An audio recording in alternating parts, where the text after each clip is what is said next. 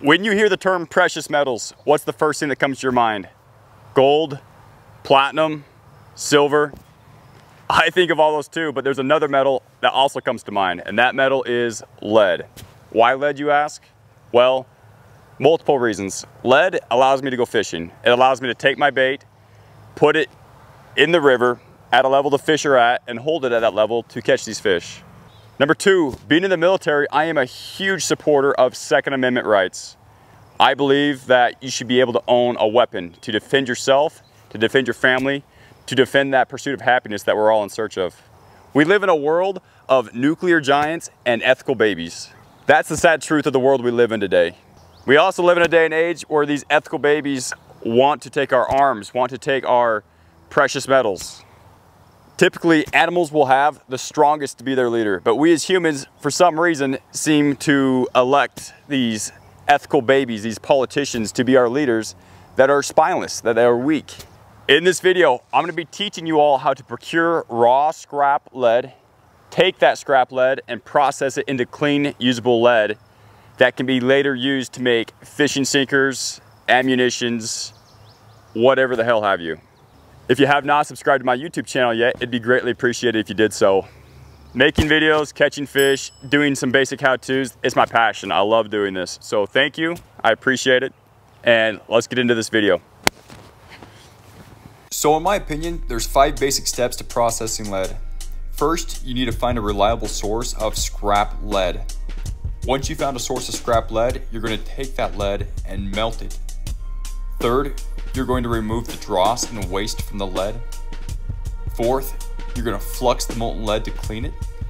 And lastly, you'll pour the molten lead into molds to make ingots to be used at later times. So, my reliable source of scrap lead has been used wheel weights from tire shops.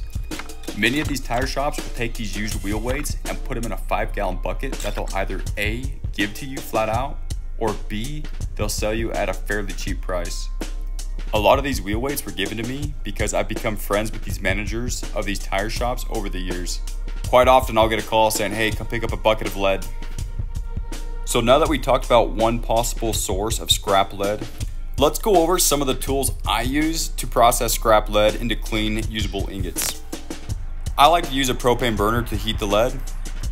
You're going to need a large metal pot to melt the lead in. I use this 12 inch wide by 6 inch deep cast iron Dutch oven. It does the job quite well. You're also going to need a metal bucket for dumping the hot dross and wheel clips into. You'll need a stainless steel slotted spoon for removing wheel clips and other macros from the molten lead. I use this stainless steel serving spoon for removing the dross from the top of the lead. You'll also need a stainless steel ladle for pouring your clean lead into the molds. All three of these utensils can be picked up at Walmart on the cooking aisle. You'll need a mold to pour your lead into. They make molds specifically designed for lead pouring, however, they're not necessary. They do an amazing job, they look really good, but I like to use mini muffin tins. Mini muffin tins are readily available. You can pick them up at Walmart, they're cheap, and they do an amazing job. I'm basically just looking to store my lead. I don't need it to be beautiful. I'm not really selling it. You'll also need a form of flux. I use sawdust. We'll get into what fluxing is at a later time in the video. If you can't be safe while doing something, why even do it? Because molten lead and freshly poured lead is extremely hot, you'll want to have a good pair of leather gloves. You'll also need to have a respirator that is rated for toxic fumes and dust. This is by far the most important piece of PPE you can have with you. I'm typically an extremely busy person, so I like to use a propane ditch torch to help speed up the process. I have found that by using a propane ditch torch, you can speed up the process by more than four times. If you've got one, I highly recommend you break it out and use it. Also, eye protection is a must. Get a good pair of safety glasses. Don't risk it. For your safety, do not ever add any liquid to molten lead. Water and molten lead do not mix the result is explosive. Lead and water will go flying everywhere. I've seen it happen. It's happened in my own shed. Do not add any water to molten lead. A good practice to have is to not trust that wheel weights are dry. Sometimes there's a little bit of water in wheel weights that have been sitting for a while. I use a square mouth shovel to distance myself from the melting pot in case there is any form of liquid in the wheel weights. Don't let it blow up in your face. Lead is extremely dense, and as a result, many of the imperfections that can be found in wheel weights will float. The steel clips will float, any gravel, dirt, rocks, whatever have you, will float on molten lead, which is ideal for us because we need to remove these imperfections to further clean our lead. Wheel weights typically have two parts. You'll have the lead weight and then you'll have the steel clip that is used to hold the wheel weight to the wheel. By melting these wheel weights, it will free the steel clip from the lead, which will then allow you to scrape off these imperfections to throw them away. As stated earlier, if you have a propane ditch torch, I highly recommend you use it. Why? Because it will speed up the process of melting these wheel weights many times. Once the lead is melted and molten, you'll want to use your slotted serving spoon to start removing the steel clips, any gravel, any of these imperfections that are floating on the molten lead. I will scoop all this garbage into a metal bucket right next to my melting pot. All these steel clips are extremely hot and can start a fire really easily if you're not careful.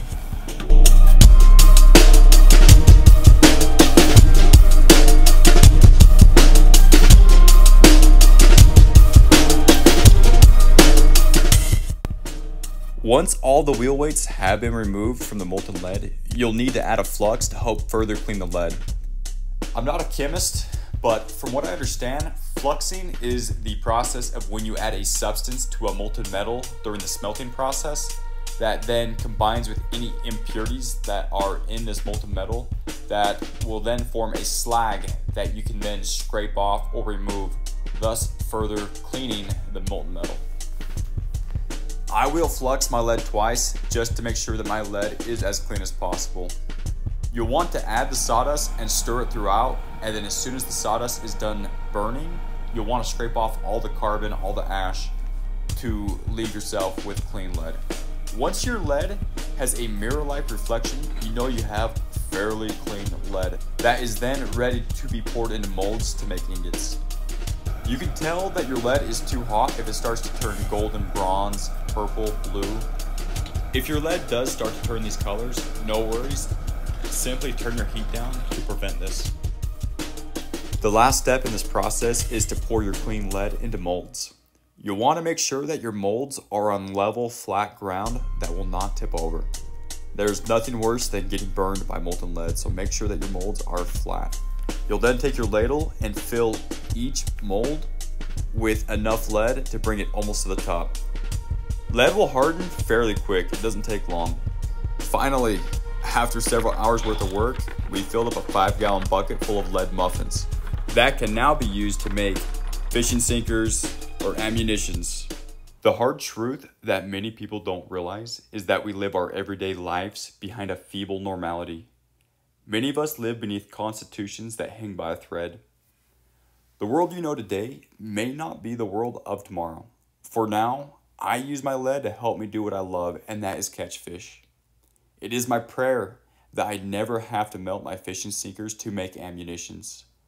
However, it gives me great comfort knowing that all it would take is a little bit of heat and a slightly different mold, and I could make something that could silence any threat to myself and my family. I hope you all liked the video and I hope you learned something from it. If you did, if you could return the favor and subscribe to my small but growing YouTube channel, it'd be greatly appreciated. If you have any tips or tricks for processing lead that you think would be beneficial to people, please drop those in the comments section and help other people learn from you. In my next video, I'm going to be taking you all through the lead pouring process on how to make lead sinkers. The sinkers that we're going to be making are these large 10 to 14 ounce pyramid sinkers that we use for white sturgeon fishing up in Idaho. Again, thank you all for watching, and we will catch you all in the next episode.